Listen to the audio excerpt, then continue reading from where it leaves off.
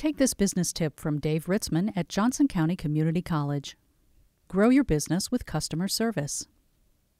What's the most important thing you should know about customer service to grow your company? You're going to be surprised at the answer. First, you must know what. What you're trying to provide your customer. We can easily understand that customer service is a part of the hair industry.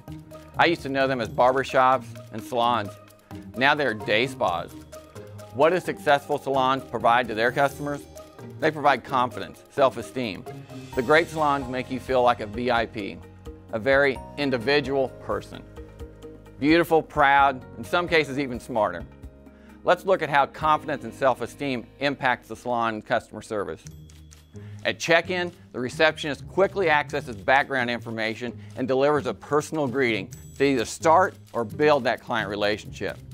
Next, the stylist reviews your background information from previous visits.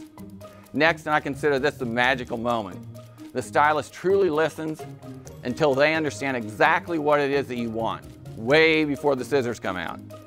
When you're in the business of providing confidence and self-esteem, you don't want to make any mistakes. Here's what they've figured out when the customer is confident in the salon staff. They have a higher level of confidence in how they look and feel. The salon business isn't about providing color, treatments, haircuts. They provide confidence and self-esteem.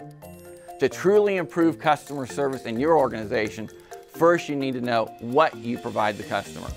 Stay tuned. Service and standards measurements are vital for long-term success.